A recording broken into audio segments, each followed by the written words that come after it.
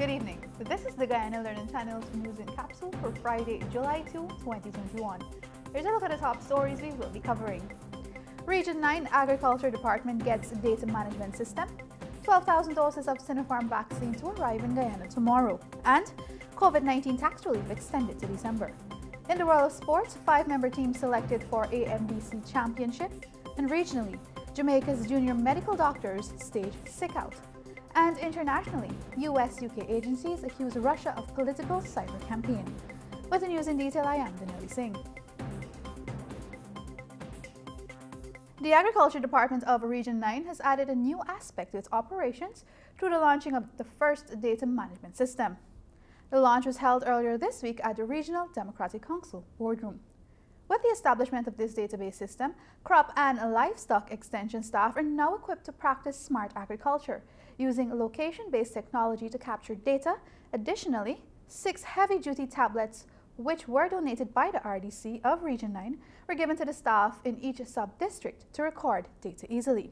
The driving force behind this project is Dr. Darren Haley, Regional Agriculture Coordinator.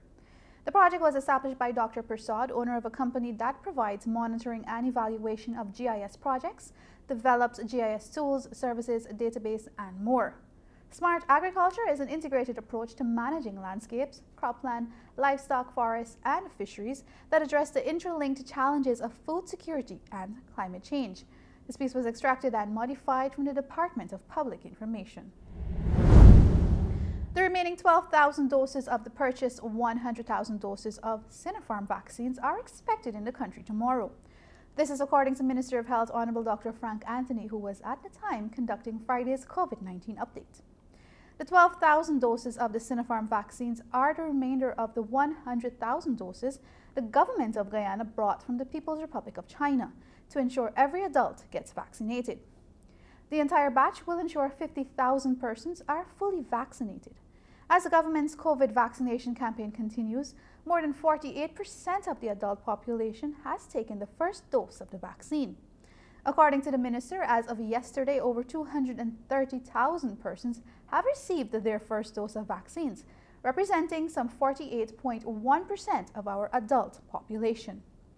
Meanwhile, Minister Anthony said the vaccination campaign is resuming in remote hinterland villages, which were inaccessible due to flooding. The minister is encouraging all adults to take the COVID-19 vaccine to push Guyana closer to achieving herd immunity. The aim is to have approximately 500,000 adults vaccinated. This piece was extracted and modified from the Department of Public Information.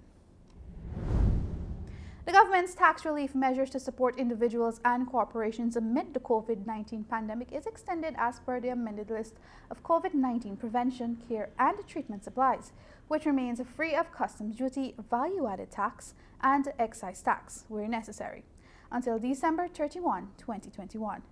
For VAT purposes, all the items are zero rated. For the list of items, you can visit the website listed below. And now in the world of sports. AIBA three-star coach Terrence Poole has been selected to lead a team of four boxers to the American Boxing Confederation Youth Championship qualifying tournament from July 11 to 19 in Mexico. The quartet of boxers will be led by Caribbean champion Alicia Jackman. President of the Guyana Boxing Association, Steve Ninvalle, said the association is keen on providing opportunities for local boxers to get exposure to another level of competition. He said the association is currently working on getting the necessary funding to ensure the trip is a reality. This was extracted and modified from the newsroom. And now for regional news. Operations at public hospitals across Jamaica have been disrupted as junior doctors stage a sick out.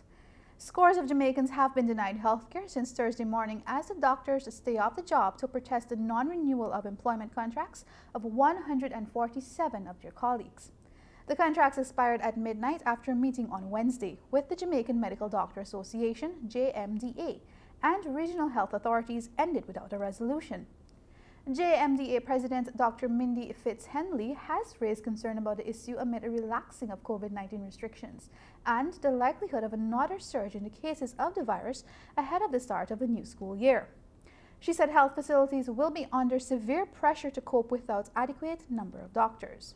Dr. Fitz-Henley said some of the doctors are upset about being offered six-month contracts as this is a breach of the heads of agreement, which stipulates that the doctors should be offered two or three-year contracts.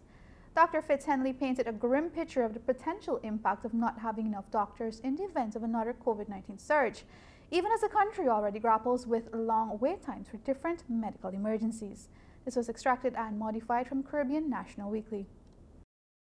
And now for international news.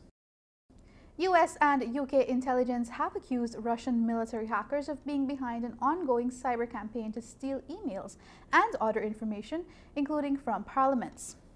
The campaign is primarily focused on the United States and Europe. There are said to be hundreds of targets around the world, including UK political parties. The same group allegedly stole and leaked Democratic emails during the US 2016 presidential election. Microsoft has previously stated that the same campaign targeted US and UK organizations directly involved in political elections, including UK political parties. The campaign is said to have begun in mid-2019 and to be almost certainly ongoing. It has mainly been directed at organizations using Microsoft Office 365 cloud services, but other service providers have also been affected. The National Security Agency NSA and Cybersecurity and Infrastructure Security Agency the Federal Bureau of Investigation and the UK's National Cybersecurity Centre have released a joint advisory accusing Unit 26165 of Russia's GRU of being behind what they call a global campaign to compromise enterprise and cloud environments. This piece was extracted and modified from BBC. With that, we've reached the end of our broadcast today. You can join us again on Monday right here on the Guyana Learning Channel for another edition of GLC News. On behalf of the technical team, thanks for watching and remember to stay safe, Guyana.